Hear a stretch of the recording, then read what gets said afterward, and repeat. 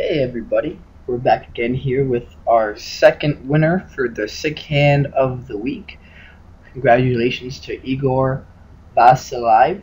I hope that I pronounced that well enough. If not, I apologize. Um, this week's contestant was uh, also another very intriguing hand, and uh, why don't we just jump right into it, huh?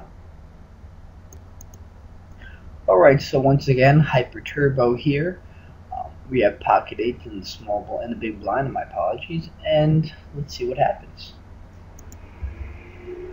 So our opponent raises 3x to 60, and I think the best bet here is just to get it in, to be honest with you. Um, no need to play around here, just shove, which our opponent does, which our villain, uh, our winner does, I'm sorry.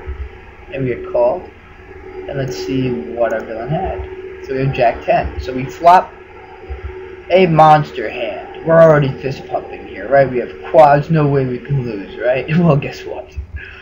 Turn is the queen of hearts, and the river is the nine of hearts for the straight flush. I mean, this hand will win you money at a casino. This is pretty insane.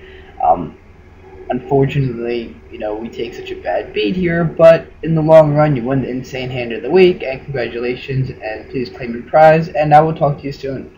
So good luck to everybody. Thank you, thank you all for um, you know submitting your hands once again, and uh, we'll speak to you guys soon. Take care.